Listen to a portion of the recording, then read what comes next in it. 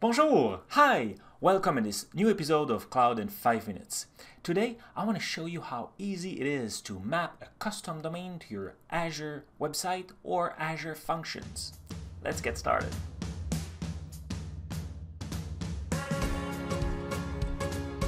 With Azure, it's really easy to create a new website or Azure function.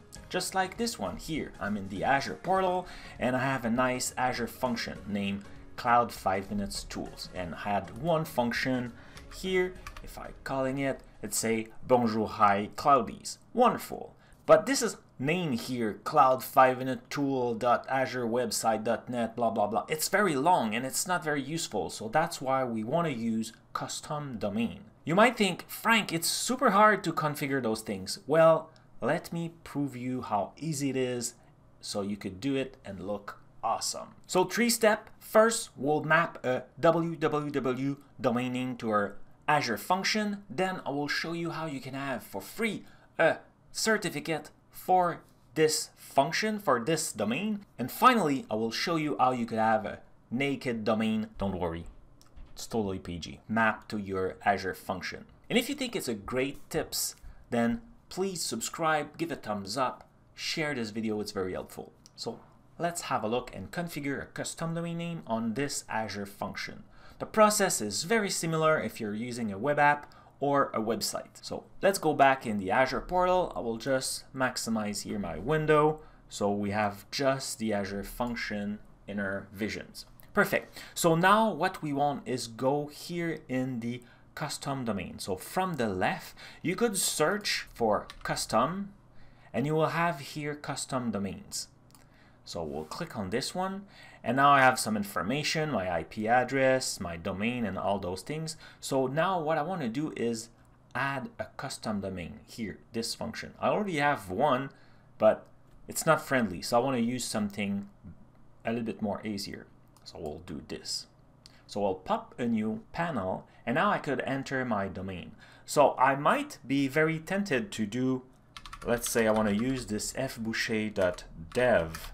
I would like to use this one, but then it won't work because I need an A record and it will be very expensive. So instead what I could do is use a dub and that should be much easier to do. So now what I need to do is configure a CNAME for my domain provider. I will have uh, some information here and I just need to create on my custom domain name here a CNAME and a TXT record with those value here. I'm using GoDaddy's for the example. Any cloud provider, the setting will be a little bit different, but it's mostly the same thing. So here what I want to do is manage the DNS. So you find this option and just click on it. What you're looking for is this kind of list where you have many different record. So what we want to do now is create a CNAME www and enter or enter this value. So here I already had the C name with a W and I had this value, but let's edit it since it's already there. So I will just paste my name. So that's perfect. And now I need the TXT. So I will create the TXT. So we'll just create this. And now I will specify the type. So we'll go for TXT. The host here, it was saying that I need to have this and the txt value was this long id here so I will copy it from here and I will save it. Voila. So now I have the two information inside my custom domain name. The hardest part most of the time when you're customizing a domain name is it can take times. So here you see there's a where it is. Here it says it could take up to 48 hours. So a lot of time when you're trying to validate and it's not working you know what just pause, do something else, and come back later. So let's validate, see if I was lucky. Great. So apparently my domain is added, so now I could add it. Voila. So now I have my custom domain. So if I change here, and now if I'm instead of having this name, I could use fboucher, right? So www fboucher dev. So now I have this error. So how can I fix that? really simple. So one thing I want to do is go back in the portal. So now if we look, we have here it's unsecure. So what we want to do is be able to do this add binding, right? So and if I do right now, it's asking to upload a certificate and all those things. I don't have it. I could buy a certificate, but also I could use something inside the Azure portal. So let's close this. And here the second option that I had when I did type the cust here had this that also stay visible. It appears that I need that. So let's have a look. So it's in TSL SSL settings. So we'll come here. So what I want to do is create a private key certificate. So I will just create here an app service managed certificate. Now I just say, yep, this is for the, the name I want is www.fboucher for my domain. If I had multiple one, I could pick exactly the one. So I'll just create this. It will take a few seconds, of course. Voila. So now I have it and I have the thumbprint and everything. So now if I go back in my custom domain name, I should be able to add it. So now I have here, I will go add binding and now I will choose my certificate. So I have this certificate here that I just create. And of course I need the SNI. So I do this, voila.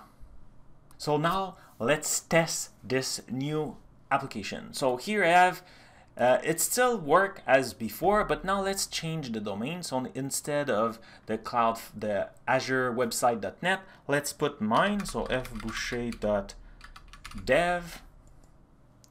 And I need to put the double dub before. So now it's still working perfectly.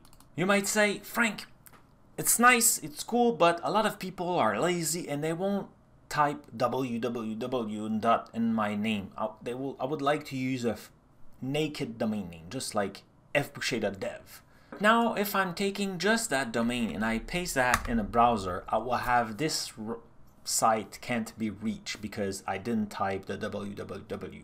So there's a trick for that and it's doing some forward rules. So let me show you what you can do. For this, you use Cloudflare and there's many different services in Cloudflare, but we'll be using free one. The first thing we want to do is create a new website. So we'll just put our domain here. So now we need to let Cloudflare take the lead for this management of this domain name.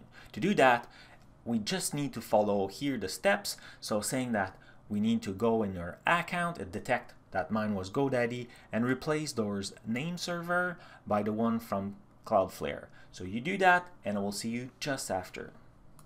So here it is in my GoDaddy page. I have the name server and we see it's the same value. So I want to go change. I will have a lot of notifications say, are you sure you want to do that? So that's totally fine. We'll let it this way. Voila. So we change the domain. Voila. So now back on the Cloudflare side, I did change my setting. So now I just need to do the check.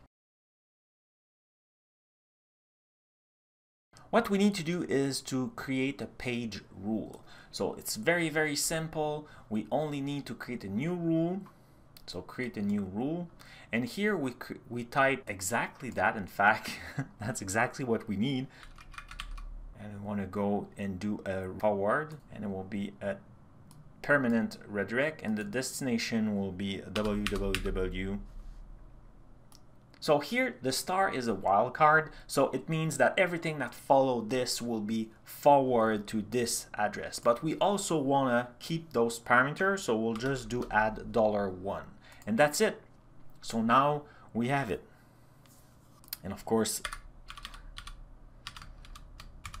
you need to have a full URL. So now if we try in our browser, it's working. Voila! This is how for $0 you could use a naked domain name for your Azure website, Azure static web app, and Azure function. I hope you like it and see you in the next video. Thank you.